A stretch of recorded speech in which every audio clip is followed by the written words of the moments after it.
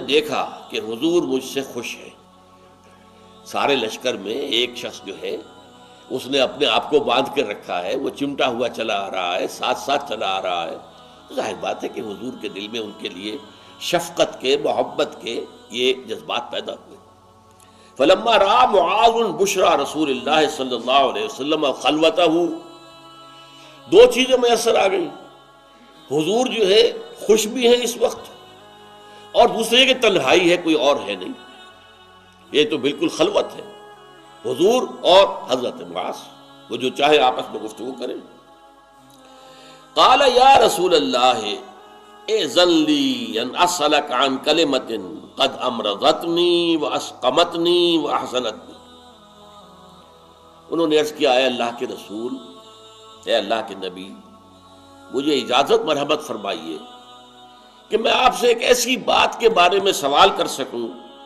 जिसने मुझे बीमार कर दिया है सकीम कर दिया है। मुझे शदीद हुजन और शदीद फ़िक्र से और सदमे से दो चार कर दिया अब ये तीन अल्फाज इस्तेमाल किए, गौर कीजिए।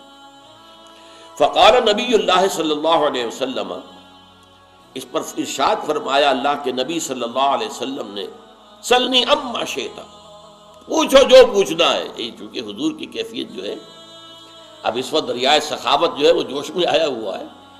सलनी अम्मा शेता, पूछो पूछो, जो पूछना हो पूछो।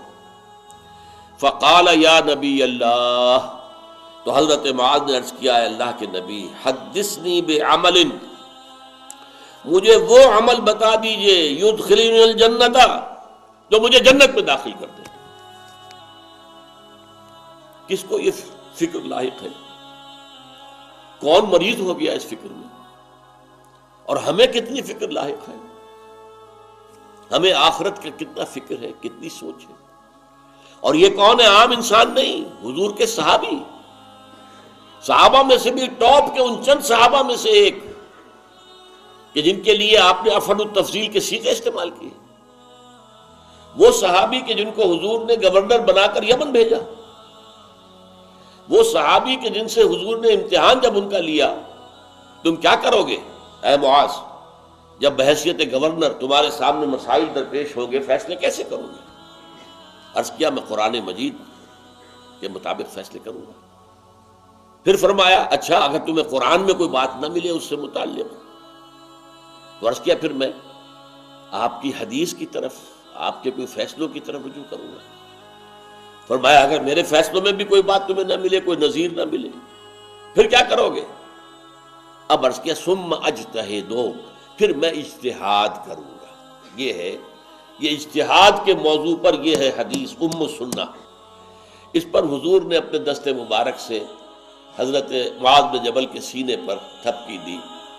कि अल्लाह का बड़ा फजल है कि उसने अल्लाह के नबी, अल्लाह के पैगाम्बर के एक पैगाम्बर को रसूल रसूल क्योंकि अब ये जा रहे थे तो हुजूर के एलची की हैसियत से जा रहे थे।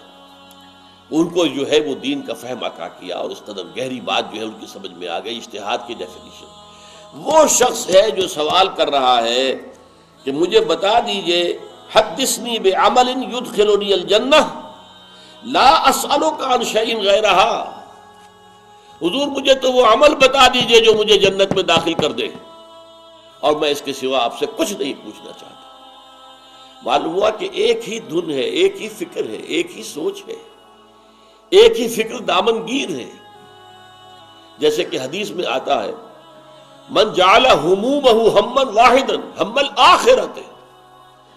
जिसने अपने तमाम परेशानियों और मसाइल और दुनिया के जो भी मामला उसको दरपेश है, उन सबको एक फ़िक्र के अंदर गर्क कर दिया।